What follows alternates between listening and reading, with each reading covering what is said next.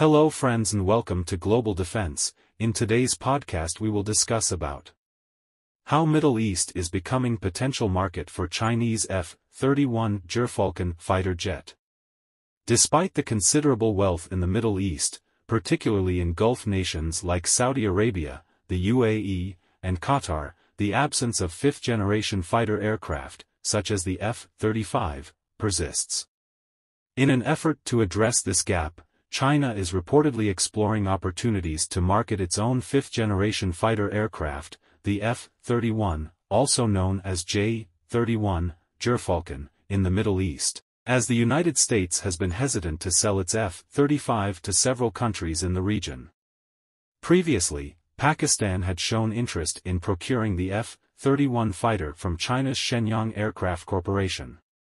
Air Marshal Zaheer Ahmed Babar Sidhu announced at the J 31 aircraft would soon join Pakistan's Air Force during a recent equipment unveiling event in Islamabad. China showcased a replica of its F-31 at the World Defense Show 2024, indicating its keen interest in expanding its market presence. Despite the desire of Gulf Arab nations to acquire fifth-generation fighter jets like the F-35, obstacles persist in their attempts to procure them.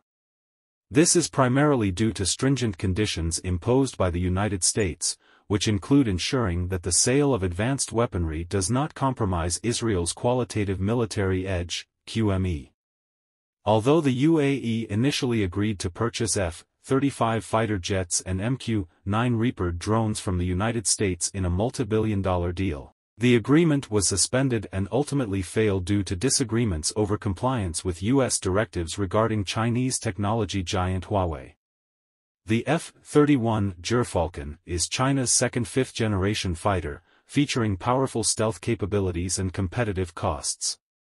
While technical details are not widely known, the aircraft is equipped with WS-19 engines generating 12 tons of thrust, increased maximum takeoff weight, MTOW, and versatile weaponry capabilities. Unlike the U.S. policy regarding the F-22 Raptor, China allows the export of its F-31 fighter, which is expected to serve on aircraft carriers similar to the F-35B and F-35C models developed by Lockheed Martin.